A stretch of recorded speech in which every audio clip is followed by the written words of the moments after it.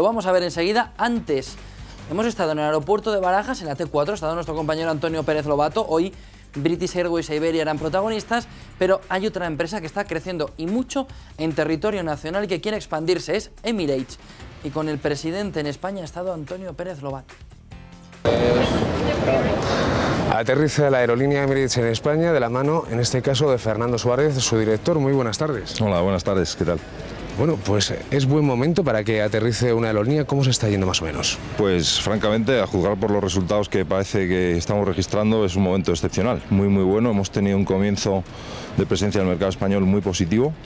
Los primeros resultados de lectura, tanto a nivel de factor de ocupación como de respuesta de mercado, ha sido muy muy bueno. Se está celebrando mucho la, la llegada de Emirates al mercado español, la oferta que supone el cubrir esa parte geográfica del mundo de una manera muy reforzada con nuestra presencia con vuelo diario y estamos muy muy satisfechos. La mejor parte de esa noticia es que parece que nuestros clientes también lo están y en general ha sido un comienzo por encima de nuestras expectativas, que ya eran muy optimistas y estábamos muy convencidos que iba a ser una ruta de éxito y efectivamente así está siendo. En un mercado como en el que estamos ahora mismo con las aerolíneas, ¿qué ofrecéis? ¿Cuál es la diferencia que tiene Emirates respecto a otras, otras aerolíneas que puedan estar ahora mismo en el mercado? Nuestra propuesta es una propuesta de mucha calidad, muy centrada en una convicción muy profunda de ofrecer al cliente un trato muy exquisito, unos valores de hospitalidad y de enfoque en, la excelencia. Tenemos una red de rutas que cubre de manera muy espectacular toda la demanda posible que haya hacia el mercado de asiático en general. Dubái como destino es muy emergente y muy novedoso que está siendo muy popular y teniendo una reacción y una respuesta de público excelente y en general toda esa zona, tanto a nivel de viaje de empresa como de viaje vacacional, disfruta un momento de demanda muy saludable y la oferta de Emirates es posicionarse pues, como un, proveedor de, mucha calidad y con un espíritu de excelencia muy alto. Eso me llama la atención, excelencia frente a lo que ha ocurrido en los últimos años, que era el nacimiento de toda una oleada de low cost. ¿Qué protege más en la crisis ahora mismo? ¿Quién lo puede ver de mejor manera? Bueno, en principio los segmentos de mercado, gracias a Dios, pues son múltiples y hay, hay margen para todos. ¿no? Nuestros resultados a nosotros nos dejan muy convencidos que nuestra estrategia apostar por un servicio completo, un servicio de calidad donde se sigue incidiendo mucho e invirtiendo en valores de de, alta calidad, eh, está siendo, el resultado está siendo muy positivo y refuerza nuestra convicción de que es una estrategia que sin duda compatible con las de bajo coste, no son excluyentes, pero que a nosotros nos deja muy convencidos de que es una política para aplicar para un éxito a largo plazo que da unos resultados muy, muy positivos. Llama la atención no solamente que ahora mismo se instauréis en España, en un momento en el que no solamente hay una crisis, sino que se habla de grandes alianzas, de grandes fusiones. Ahora mismo, ¿cómo os afecta la fusión que tenemos en los últimos días, la de British con Iberia? Pues en principio nuestra lectura puntual tampoco nos genera una inquietud adicional. La consolidación del sector es un proceso que empezó ya hace tiempo, que tiene exponentes muy desarrollados eh, de otras compañías aéreas a nivel europeo, era una cosa pendiente y entiendo que sí, se siguen buscando integraciones, sinergias y combinaciones de productos y servicios.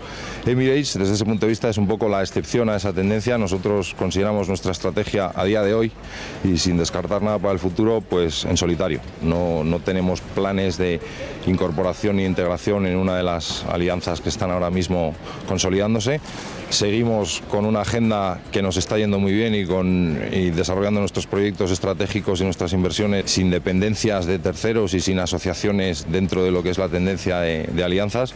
Y de momento, pues deseamos mucha suerte a todo el mundo y creemos que la competencia en general es muy buena. Y si las líneas aéreas en general encuentran consuelo y fortuna en poder coordinarse, en poder consolidarse y en poder ir organizándose de una manera más efectiva que redunde en beneficio del cliente, pues mejor para todos, pero no es nuestro caso. Eh, nosotros seguimos convencidos de, llevar a cabo nuestra estrategia de, manera individual. Pero no solamente eso, estamos viendo como muchas de esas alianzas están ayudando alguna, de alguna manera a empujar en un mal periodo, un mal 2010, pero también un mal 2009 y un 2008 que no terminó de convencer. 2011, vamos a ver, tanto en cuestión de turismo, pero también sobre todo en cuestión de lo que es el sector, ¿cómo lo veis? Nosotros somos muy muy optimistas ya en base a los propios resultados del 2010. Emirates ha tenido eh, la, fortuna y la alegría de poder publicar unos beneficios bastante, bastante positivos y de hecho beneficios récords para la primera mitad de nuestro año financiero hasta septiembre 10 y parece que todas las tendencias apuntan a que el 2010, el 2011 va a ser un año ya digamos fuera de cualquier sombra de crisis, ciertamente en el mercado donde nosotros nos movemos y donde las dependencias eh, igual a nivel relativo son más saludables que en otros mercados que, que tienen un momento algo más complicado como, como Europa o América, pero ciertamente el mercado asiático eh, está en un momento muy dulce y con un potencial a corto plazo que se está desarrollando actualmente ya, o sea que estamos muy contentos.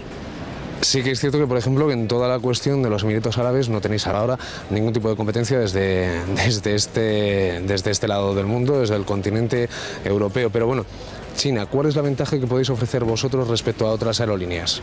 Pues tenemos eh, la gran suerte de poder ofrecer Dubái como un centro de conexión fantástico, con un nivel de calidad en servicios muy muy alto y con una infraestructura privilegiada a la hora de disfrutar de una experiencia de tránsito pues de primer nivel. ¿no? Nuestras conexiones son muy buenas desde, desde Madrid a, Pekín, a Shanghái y a Hong Kong. Tenemos diarios, a Pekín volamos varias veces, tenemos el Airbus 380 operando las rutas de China tanto a Hong Kong como a Pekín.